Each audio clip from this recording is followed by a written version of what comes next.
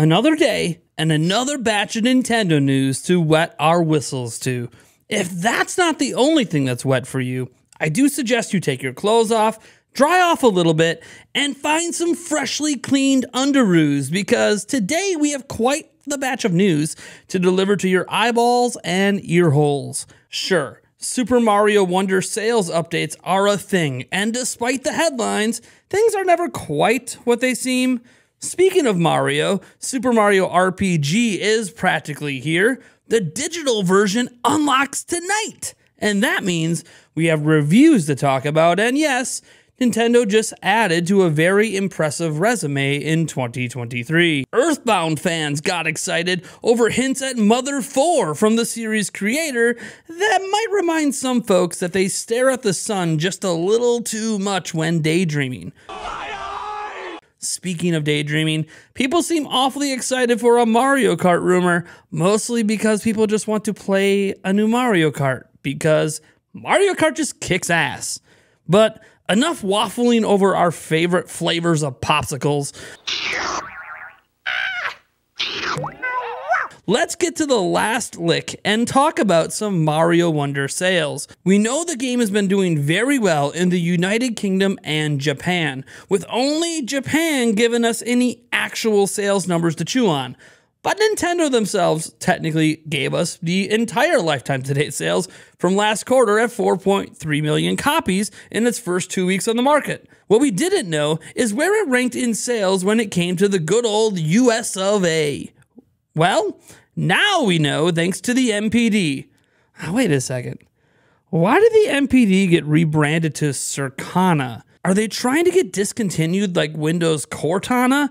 That now defunct virtual assistant that only ever truly assisted me in screaming at my monitor when I wanted to find a picture of my kids, and instead it showed me Jason Kidd, former NBA player and co. Uh, okay, this rabbit hole is going a bit too deep. You get the idea. Circana reported that Mario Wonder came in at number two, just behind Marvel's Spider Man 2. This may seem like a loss for the plumber compared to our friendly neighborhood spider, but there's one key metric Circana wants to always remind people when this happens. A little asterisk gamers tend to overlook as they console war away on the Xverse or the Reddit spheres of the world. Digital sales for Nintendo published titles are not included in the title sales ranking charts. So, the truth is, the little plumber probably did exceed Spider Man 2, which did include digital sales data. Given Nintendo's data shows anywhere from 40 to 45% of sales of their biggest games in the United States are digital. So if it got to number two missing a little less than half the total sales data, then I think it's a pretty safe presumption.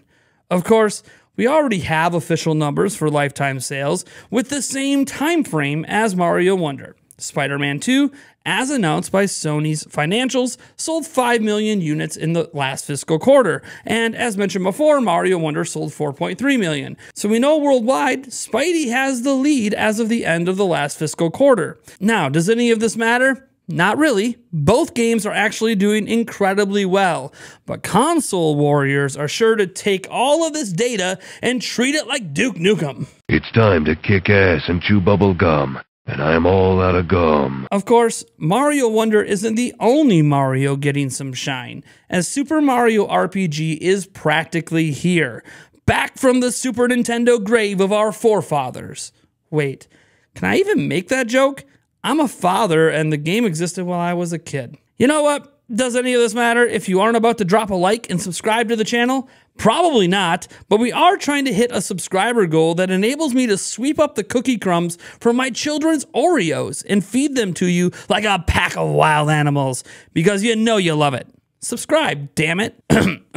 okay, sorry about that. Where were we at? Right, reviews for an RPG. At the time of making this video, there are 75 reviews listed for Super Mario RPG on Switch with zero negative reviews. Now, this is at Metacritic. It's rocking a super clean 83. The lowest review, a 60, calls the game one of the most charming and eccentric adventures Mario has ever been on.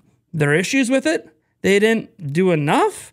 It's still too easy, I guess. In fact, their entire problem seems to be that it's too faithful. It, that it should have fundamentally changed platforming segments and more. On the flip side, the most glowing of reviews are all 90 plus and even one perfect score, and they all sing nothing but praises, calling the game near perfect. Look, no matter what any review says, I was always going to pick up this game because I never played it originally. And it's a game I understand that despite being an RPG, it takes a little under 20 hours for the first time through, which is right in my wheelhouse after spending so much time in Tears of the Kingdom earlier this year.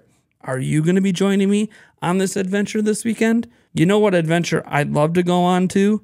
Why not Earthbound 4? Sure, we can all just forget that the third adventure has never been officially released here in the West, because at this point, it's practically an ongoing joke that I'm sure many Nintendo employees have a good laugh about anytime they see a fan wearing an Earthbound shirt at a convention. A bunch of fans are running wild right now after series creator and, yes, I'm about to butcher his name, and yes, there will be a dozen comments correcting me as if I'm suddenly going to become an expert on Japanese enunciations. What do you take me for? A person who covers video games from a Japanese company for a living or something? Psh, give me a break, man. I secretly use all of this to disguise a secret message embedded in every video, trying to turn ants into ladybugs with select frequencies for science. Bah, I got off track again. Look, series creator Shigaso Tato I, it Itoi, I told you, responded to someone on Twitter who had a mother gif saying, There will be a continuation of this, so stay tuned. To be continued. And fans went nuts. So many people running around going, Oh my gosh, it's happening! It's happening! Earthbound is 4, baby! Of course, cooler heads should prevail. Remember, when I first brought this up all the way back at the beginning of the video, I said some people might be looking at the sun a bit too much. All it took was one minute of investigation to find out this was part of a longer chain of conversation that's actually talking about rice crackers and how much Itoi really enjoys them. And he's simply going to give more info on his love of, of rice crackers later. Yes, we somehow took a conversation about rice crackers because a fan threw in a mother gif, and the suddenly fans twisted this into Mother 4. Honestly, I've seen worse, so bravo, internet. You didn't dive into the absolute depths of insanity on this one. You merely tested the waters to see how it felt. You know what does feel like I'm getting a bit deeper into those depths, though? Talking about rumors from places that literally call their own existence nonsensical ramblings. I mean, the dude is warning us that what he says makes no sense, has no meaning, and is absolutely ridiculous. But that doesn't mean it's not fun. Yes, Zippo dropped another rumor, and this time it's about the next Mario Kart game. Sure, we can point out how he's got some stuff correct about Mario lately. He was correct on a couple things of Mario Wonder, and indeed was one of the ones saying Thousand Year Door was happening all those years ago. Look, I too can throw darts blindly at a dartboard and still occasionally hit a bullseye. Well. Oh my god! Did everybody see that? okay, last one. But the reason his Mario Kart rumors seem to be getting traction is due to actions and an actual news story by Bandai Namco. And that's the real story here. Though, don't worry, Zippo fans. And yes, I'm talking about all you smokers out there that love whipping out your Zippo like you're the cool kid in the beer garden. We'll get to this rumor in a moment. Bandai Namco has formally announced Studio 2 and Studio S, collaboration studios that typically work on Nintendo games. Of course, we know Bandai Namco has been working on Nintendo games for some time and has credits in games like Super Smash Bros. Ultimate, Mario Kart 8 Deluxe, and Tour, ARMS, Mario Sports Superstars, and more. However, until now, they weren't technically a named formalized studio publicly, but rather groups of developers from their teams, at least that was the assumption, dedicated to certain projects.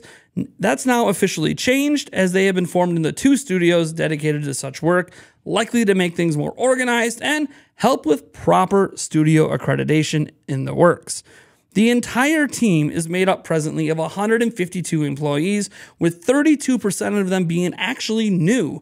40% are artists, and everyone else on the group is made up of designers and programmers. The site also shows they are hiring a lot of new employees, which is probably another reason to announce the studio formally. That way, if you wanted to work specifically at Bandai Namco on Nintendo projects, you can apply more directly. The interesting part is when you read some of the job listings, some of them say things like hiring for a 3D action game commissioned by Nintendo. I wonder what that's going to be. In other words, yeah, this team is set to be making Nintendo games for a long time. So, what does this have to do with Zippo's Mario Kart rumor? Well, nothing directly, to be honest, but it is notable that Bandai Namco's teams are highly likely helping out with the development of the next Mario Kart game, both on console and mobile. That's not even a guess. They were so heavily involved with Mario Kart the entire Switch generation, it's simply a guarantee that they will be an assistant studio to the next one. Fine. It doesn't really prove anything. So, what did our nonsensical little friend have to say about Mario Kart this time? After all, you guys want to add more to your, well, if he said it, it's not happening list, right? Okay, fine, fine, fine. You twisted my nipples enough. Yes, I'm going to just quote him because I'm trying to come up with clever quips for what he has to say, and it just gets tiring.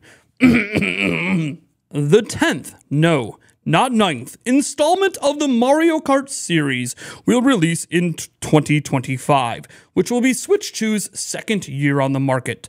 The intention is to release the title sometime before the second holiday on the market. It's being developed by Nintendo EPD Production Group 9, with Bandai Namco Studios once again co developing. Additionally, Nintendo are absolutely sparing no expense with this game. This is apparently one of the most expensive games Nintendo has ever put into production. The next 3D Mario is said to be absolutely dropping, and this is apparently looks even better better. The game's visual fidelity is said to be a very high priority for them, meaning the game is gonna look good. Damn good. Whew, man, I'm glad I'm done reading that dribble. Look, Mario Kart is likely to be released within the first 12 months of Switch 2 launching. Absolutely. It is going to look visually good. I mean, of course. It's on way more powerful hardware, and they have to make sure it's a noticeable visual improvement over Mario Kart 8. Will it be called Mario Kart X or just 10? Maybe. They have only really used numbers for Mario Kart 7 and 8, but with the success of both, I could see them continuing the number scheme instead of the subtitle themes that they do use. But going from 8 deluxe and moving 60 million and then skipping straight to 10, that just doesn't really make sense to me. Uh, that's just not really something I'm buying. Sure, Tour is arguably Mario Kart 9, or maybe you want to argue Home Circuit is, but I think most general consumers will understand the next Mario Kart they are looking forward to has arrived when it goes with the number 9. But what do I know? It's not as if the entire universe has used numbers to indicate sequels that have led to consistent sales and success over and over and over again. It's almost like Nintendo Switch 2 should literally just be called Nintendo Switch 2 as well. But hey, Nintendo is gonna Nintendo. Either way, I think that's just about all the dribble from a nonsensical blog I can handle. Thank you all so much for being here, and I hope you enjoyed the news. Hi, guys. Oh man, I know most of you guys don't make it to the end of my videos. This is really for some of the hardcore, hardcore viewers here. Um, yeah, I'm back making videos. I'm not gonna be uh, doing live streams this week, so don't look look forward to a stream tonight or anything. And I know it seems like I'm I'm in good spirits and everything's all good, but that's because I just happen to have energy at the moment, which is why I chose to record when I did. Um, for those who don't know, I have been suffering from COVID and pneumonia, and yes, I uh, was submitted to the hospital uh, earlier this week. You know, Sunday heading into Monday, and it was uh, pr- pretty rough. I am heavily medicated, but I am obviously doing much better since I'm able to make videos again. But I saw all the well wishes. I saw um, tons of DMs. I had so many DMs from so many people. I couldn't even respond to everyone. And I'm sure once I get this video out, I'm probably going to go crash and take a nice little nap uh, before my kids get home from school. But uh, I, I, just want to let you guys know I'm alive. I'm here. We're doing good. You'll know things are back to normal when you see me streaming again, hopefully next week. But you know, I, I gotta I gotta let the recuperation do its job. Uh, I am glad that I'm able to talk at least in the moment. I am getting a little short on breath, but uh, that's what happens when you got fluid in the lungs and everything. So uh, thank you to the doctors uh, who put me on some really good medications. Uh, thank you to all of you for your kind words and support. Uh, and we'll be we'll be back at this, you know, soon enough. We got videos coming for now, so I, at least I can do that. Thank you guys for being here, and I'll catch you in the next video.